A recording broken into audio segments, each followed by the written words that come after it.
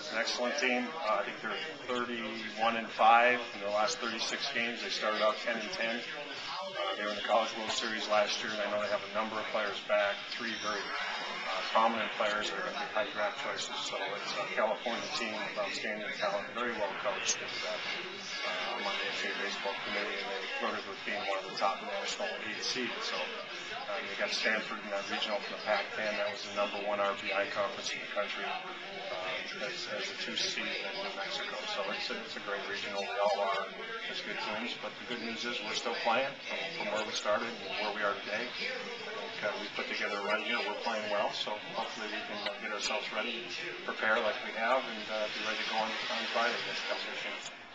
And really, if you can keep a positive self-image and believe in yourself and the other players and trust each other, anything's possible. And uh, this team's playing well right now, and so that's they have a, a strong self-image. They're very confident. They got some swagger, and we're going to need every bit of that to, to, to, to come onto this regional and have a chance to win that first game against Bill Fullerton or possibly win it home.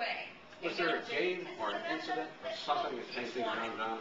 Was there something that, boy, this was, you could point to it and say, is this what happened, is this what happened?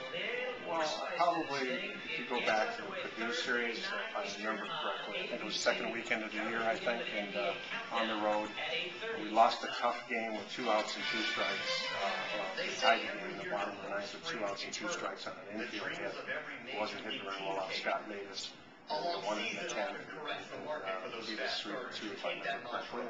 And I told the team after the game, I said, you know, got two choices here. We're either going to get better. or we're going to get worse. And uh, I told these guys, you start playing like you're capable of playing because I think you're, you're, you're better than you're playing currently. And I think they bought into it. Uh, we won the next day, and then on Sunday they had to come from behind to win nine to seven. I think that weekend, after they, they, they won the Saturday game after a very difficult loss, and we lost, I think, this year about 15 games in the last two innings or the last at bat. We had a lot of those, and that was another one.